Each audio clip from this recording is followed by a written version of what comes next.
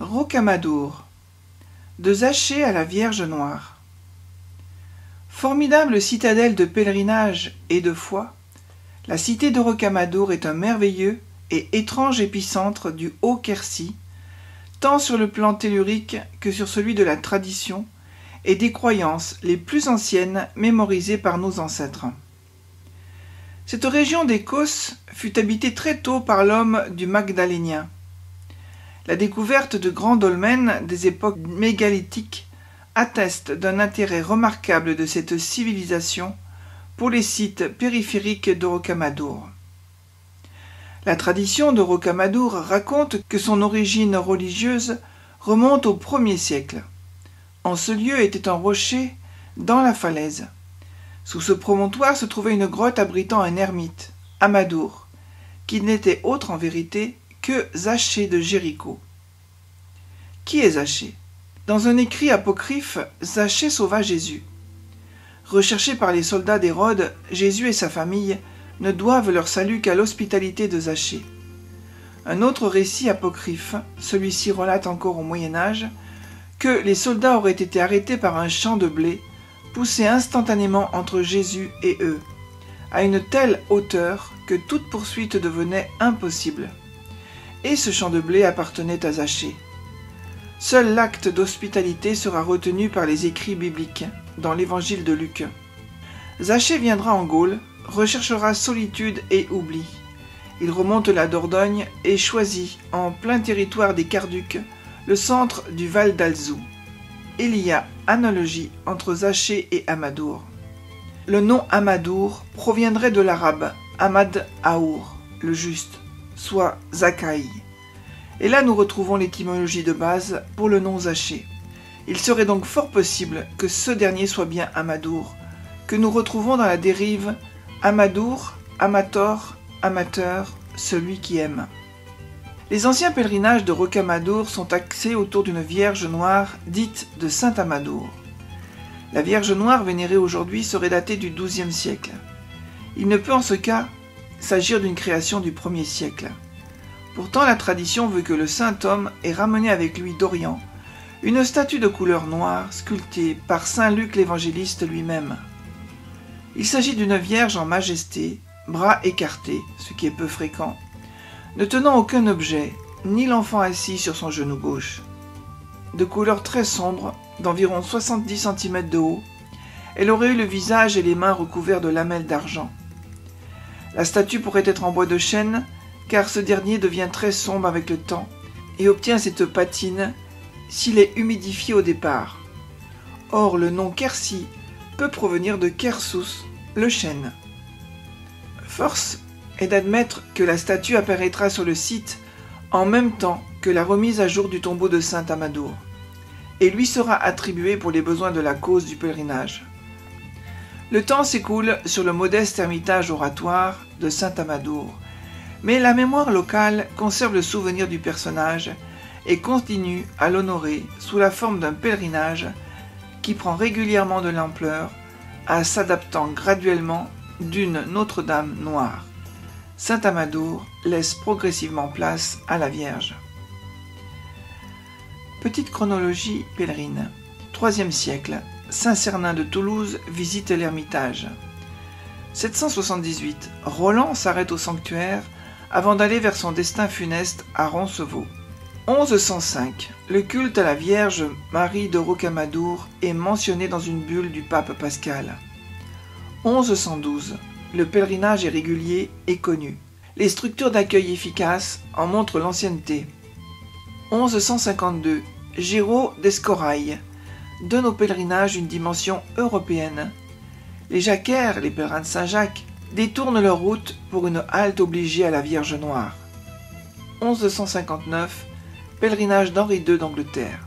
C'est en 1166 qu'eut lieu, peut-être sous l'impulsion des bénédictins, la découverte de la dépouille du bienheureux Saint Amadour lors du terrassement d'une tombe prévue devant l'ermitage. Les textes ajoutent que le corps était dans un parfait et exceptionnel état de conservation. Il ne pouvait s'agir que d'un miracle. Le corps fut transféré près de l'autel et offert à la dévotion des fidèles. jusqu'en 1562 où Bessoni et ses protestants mettent la cité à sac et brûlent la Sainte Dépouille et toutes les archives du lieu. Mais entre-temps, les miracles n'en finissent plus de se succéder sur la tombe de saint Amador. Il en sera de même pour les pèlerins aussi princiers, religieux que célèbres.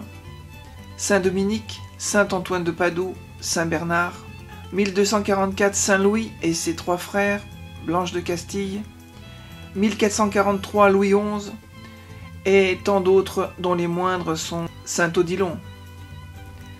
Saint Amadour et la Vierge Noire ne furent ni sourds aux suppliques des fidèles, ni avares de miracles pour répondre à toutes les attentes, aussi diverses soient-elles. Il faudra, en 1172, et sur ordre de Géraud d'Escorail, tenir un registre des prodiges ayant lieu à Rocamadour pour le XIIe siècle. Ce livre des miracles relate 126 procès-verbaux de faits merveilleux, dont 90 sont directement liés à des guérisons. On remarque certains prodiges répétitifs liés à la vue et aux yeux. Ainsi cette femme, perdant la vue en accouchant, recouvre la clarté en implorant de très loin Notre-Dame de Rocamadour. Il sera de même pour ces nouveau-nés morts à leur naissance, retrouvant le souffle de la vie, le temps utile à leur baptême. Un fait étonnant. Nous sommes en 1212 et l'émir Al-Nasir, fort de cinq fois les troupes royales de Castille, Aragon et Navarre réunies, semble emporter la bataille décisive de Las Navas de Tolosa. Les catholiques sont déconfits et s'apprêtent à consommer une écrasante défaite. C'est alors qu'en désespoir de cause est déployée la bannière de la Vierge de Rocamadour. Ce sera un revirement de situation, car aussitôt Dieu accorde un salut inespéré par la glorieuse Marie de Rocamadour. La Vierge venait de mettre fin au long conflit contre les morts par une intervention miraculeuse extrême. Le miracle de Jeanne d'Arc. Charles, roi de Bourges, désespère de chasser les Anglais des terres de France. De guerre lasse, il demande au pape par l'action des prières l'intervention miraculeuse de Notre-Dame de Rocamadour, et ainsi la modification du destin des armes. C'est ainsi qu'en 1429, à la mi-carême, une jeune femme guerrière du nom de Jeanne d'Arc se présente au roi pour lui permettre de repousser les Anglais hors du sol français et lui permettre d'accéder au sacre de Reims. Dans la chapelle de la Vierge, de nombreux ex-voto témoignent des miracles accomplis. Parmi les objets insolites, émouvants et parfois naïfs, on distingue des reproductions de navires. Plusieurs marins attestèrent avoir au plus fort de la tempête et à l'instant du naufrage imploré Notre-Dame de Rocamadour. Soudainement les éléments s'apaisaient, permettant aux hommes de reprendre la maîtrise du bateau. Revenus de leur périple en mer, les rescapés se rendaient alors à pied remercier la Vierge et déposer un ex-voto en témoignage de leur gratitude. Mais le prodige le plus spectaculaire fut sans doute celui de cet équipage qui, au moment de sombrer corps et biens, s'en remettait à la Vierge de Rocamadour et se retrouvait au petit matin avec son navire à des lieux du drame, sain et sauf, sur le rivage de Saint-Jacques de Compostelle. Nous noterons encore que Jacques Cartier fut sauvé en mer grâce à l'intervention miraculeuse de la Vierge Noire. En remerciement de ce miracle, la crypte de l'église Saint-François d'Assise au Québec est sous le vocable de Notre-Dame de Rocamadour. Le Grand Pardon. Le pape Martin V en 1427 instaure le Grand Pardon de Rocamadour.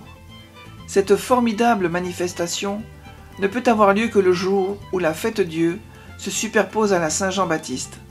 Le premier pardon eut lieu en 1428. Les autres se succédèrent ainsi 1546, 1666, 1734, 1886, 1943. Le prochain se situera vers 2129. L'accès au sanctuaire débute face au château de la Coretta, ancienne défense forte. Ici commence l'escalier des pèlerins. Ces derniers y faisaient leur pénitence en gravissant 216 marches, souvent à genoux. À chaque nouvelle marche, le pénitent récitait un ave. À l'arrivée, il était chargé de chaînes, qu'on lui ôtait dès sa confession terminée pour symboliser sa libération des entraves du péché. De cette placette, on accède à sept chapelles. L'église de Saint-Amadour, la basilique Saint-Sauveur, les trois chapelles Saint-Jean-Baptiste, Saint-Blaise, Sainte-Anne et enfin la chapelle Notre-Dame. À droite de l'entrée de la chapelle miraculeuse de Notre-Dame se trouve une sorte d'enfeu protégé par une grille de fer. C'est ici que fut trouvé le corps de saint Amadour Zaché.